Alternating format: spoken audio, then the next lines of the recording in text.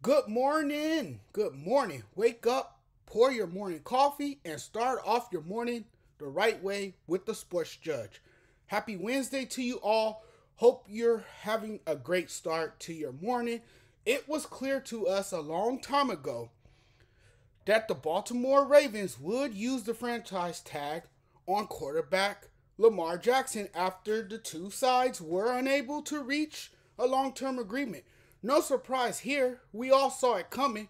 It was a no brainer that the two sides are not close to a new contract. This has been a long process, it has dragged on for years. The saga has gone on long enough. At some point, the Ravens are going to have to make a decision whether or not they're all in on Lamar Jackson, whether he's their guy moving forward.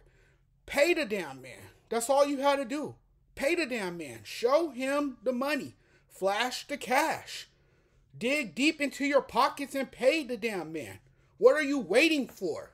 Time was ticking on contract talks between the two sides. Seems to me that one of the biggest issues is that Jackson represents himself.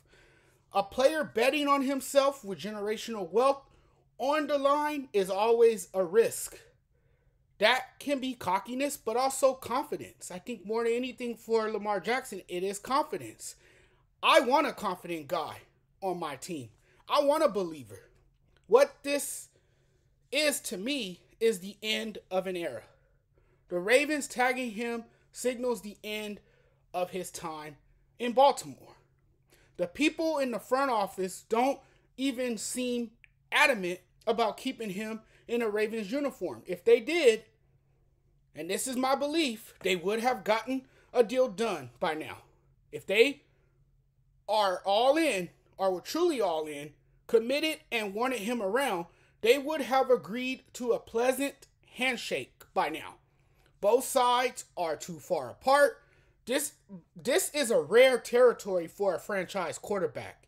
It's not Ravens like to place the tag on a quarterback.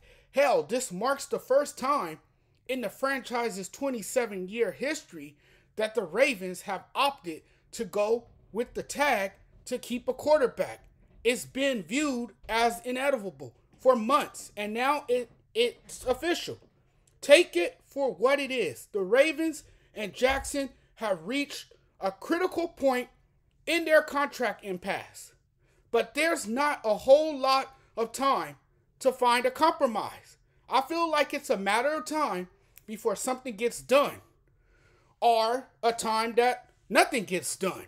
Because look, what other options are there at quarterback? What direction do you go in if you let him go for the return of first round picks in each of the next two drafts? Then you can get pretty much, then you can pretty much say you're starting a rebuilding project. This is a real thing that Lamar Jackson may never play for the Ravens again. That's the reality. That's what it looks like. Their franchise quarterback is on the market. The Ravens basically said, come and get him. You want him? Come and get him. You want him? You can have him. Maybe we'll match the offer. Maybe we want. We won't. I don't know how many teams are going to pay to be willing to pay 40 million for Lamar and engage in negotiations that the Ravens spent over a year doing and gotten exactly nowhere. There's obviously a gap here. There's a divide.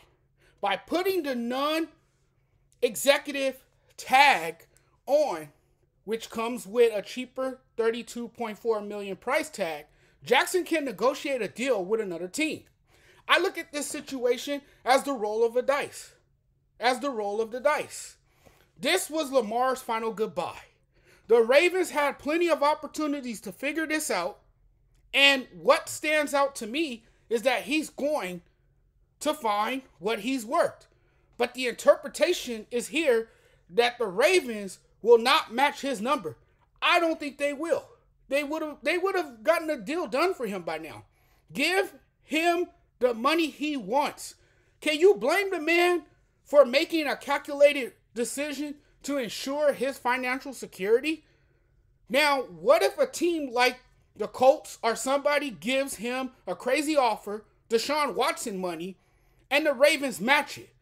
Or the Ravens can simply say, We're not doing that and let him walk. And I think I have that gut feeling they're going to let him walk. There's a feeling of unappreciation. You can throw his injury situation on top of it all, the social media drama we've seen. Injuries have turned out to be a season ending, a season ended ender, excuse me, that kept him out of action. Frustration clearly mounted as a minor injury continued to keep Jackson on the sideline. His extended absence to the end of the season sparked speculation about his commitment and status with the team. For two seasons in a row, a late season injury to him derailed the team's Super Bowl hopes. But if the Ravens don't want him, damn it, somebody else will. Injured or not. Thanks for watching, everyone. Don't forget to subscribe. Have a wonderful day. Peace.